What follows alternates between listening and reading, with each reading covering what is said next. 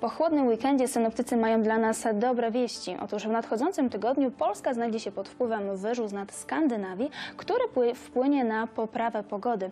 Czeka nas więc wzrost temperatur i nieco więcej słońca.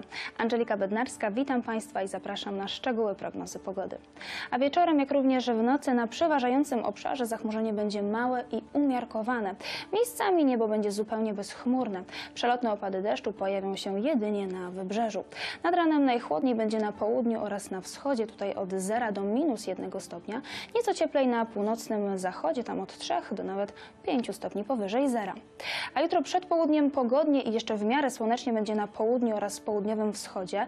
Przelotnie popada na wybrzeżu. W drugiej części dnia już w całej Polsce nastąpi wzrost zachmurzenia, a parasole przydadzą się mieszkańcom Warmii, Mazur oraz Pomorza. Na termometrach od 7 stopni na Podlasiu do maksymalnie 10 na krańcach zachodnich oraz na północy. A wieczorem, jak również w nocy nad naszym regionem, zachmurzenie będzie małe i umiarkowane. Lokalnie niebo będzie zupełnie bezchmurne. Nad ranem rześkie wartości od 1 stopnia w Brodnicy, w Grudziądzu do maksymalnie 2 na pozostałym obszarze.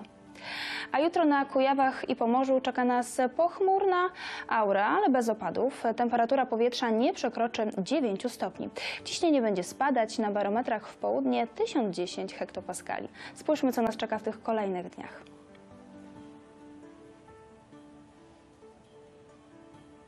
Wtorek w regionie zapowiada się pochmurny. Nad ranem od 0 do 1 stopnia, w ciągu dnia maksymalnie 10.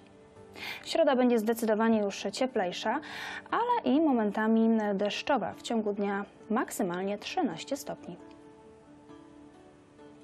W czwartek niebo zdominują chmury. Nad ranem od 6 do 7 stopni, w ciągu dnia od 11 do maksymalnie 12. Dziękuję za to spotkanie i do zobaczenia.